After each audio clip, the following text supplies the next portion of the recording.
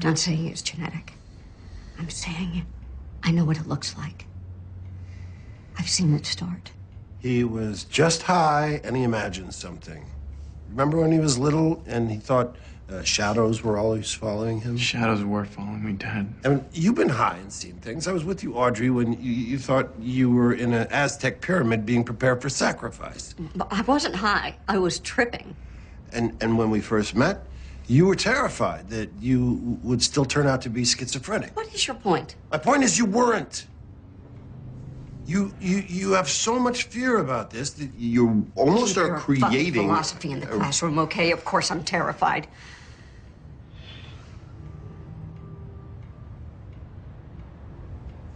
Ike was Ramon's age when he had his first psychotic episode. Until we gather more conclusive information, I need everyone in the room to stop using diagnostic terms like psychosis and schizophrenia.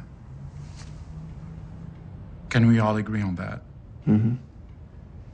These words are used much more than they should be and can be very confusing, especially to the patient. Thank you. She's been sending him links to websites. He's fucking scared shitless. I want him to be educated. I want you to know what you might be up against. want to control everything because you want to control. Maybe it. you could mask your contempt for me in front of the doctor.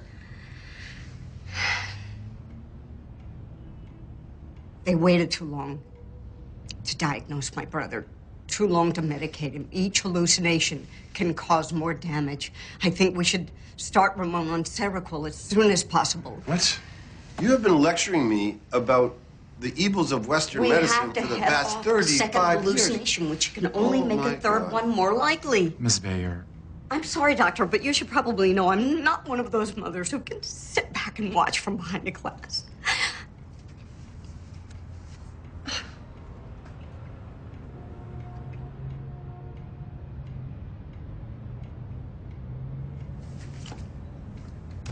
I intend to take an active part in Ramon's diagnosis and treatment.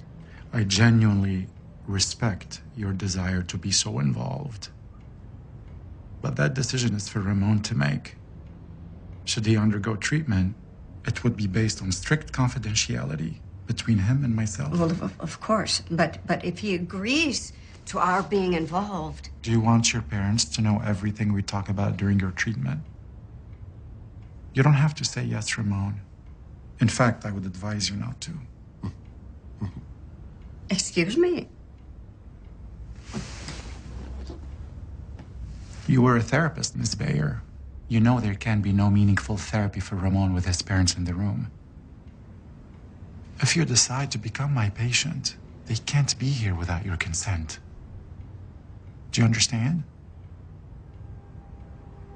And if they call or email to ask about your progress, I can't answer them. I'm prohibited by law.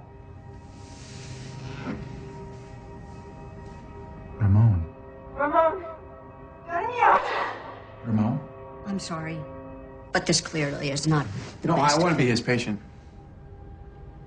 I do. I do. Sweetie, Then you both need to wait outside until we're done with our session. Of course. Everything's gonna be okay, all right? we'll be right outside if you need us.